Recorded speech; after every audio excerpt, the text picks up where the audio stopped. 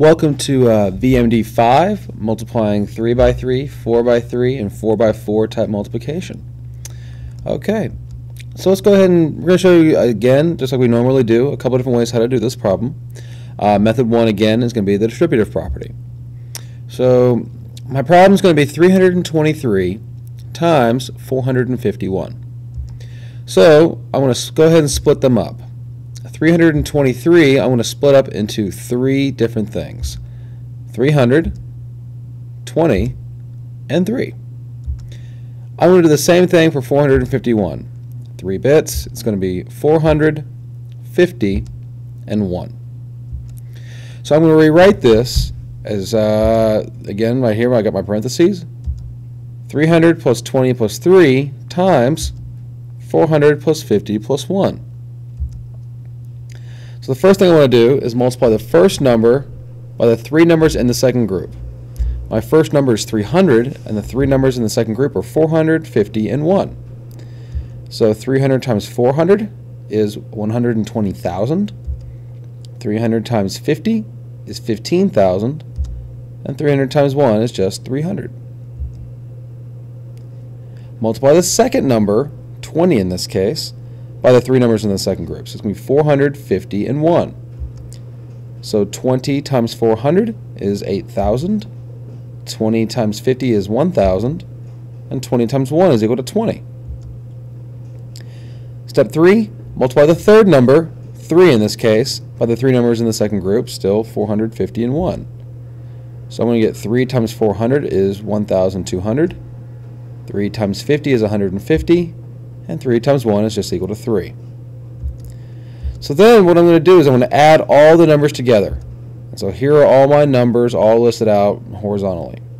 Now it's not real easy to add that way. So I, as, as a hint, say it might be easier to line up vertically in groups. So I'm going to do basically add them up three at a time. So I'm going to have 1,200, sorry, excuse me, 120,000, 15,000, and 300. I'm going to add all those together and I end up with 135,300.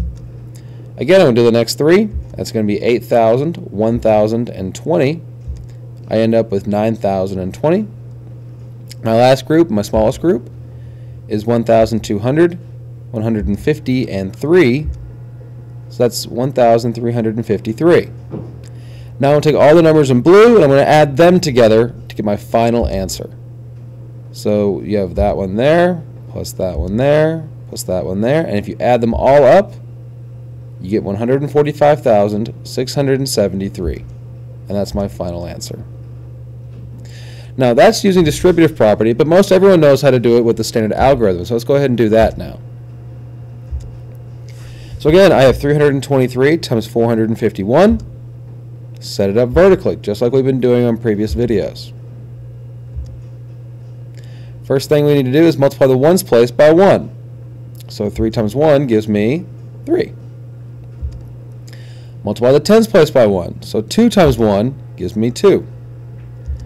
And multiply the hundreds place by 1. That again is going to give me 3. So now we're moving on to multiplying by the 5 every time. Now because it's 1 over, we need one spacer. So we're going to put a 0 for a spacer and then you're going to multiply the ones place by 5. So 5 times 3 is 15.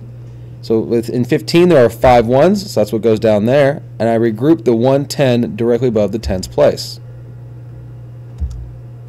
Now we'll multiply the tens place by 5 and add the one, regrouped 110. So 5 times 2 is 10, plus 1 makes 11. In 11 there is 1 1, and 110, so I'm going to put that, I'm going to regroup that in the hundreds place, like so. And finally, multiply the hundreds place by 5, and add the regrouped hundred. So 5 times 3 is 15, plus that 1 makes 16. Alright, step 7. Since 4 is 2 over, we're going to need two zeros for a spacer, and then multiply the ones place by 4. So there's my spacer. 4 times 3 gives me 12, so I'm going to put a 2 down there and I'm going to regroup that 1. So I'm basically going to write over those previous ones that were up there, and I'm going to have my 1 up there now. Next step after that is multiply the tens place by 4. So it's going to be 4 times 2 is 8, plus that 1 will make 9. And finally, multiply the hundreds place by 4, so 3 times 4 will be, give me 12. Since we ran out of space, I'm going to go ahead and rewrite all that stuff right here real quickly. And so I have all this right here, and then we have basically the exact same order. Kind of get an idea of where it came from. Okay. So let's just add them all up, and that's just straight vertical addition.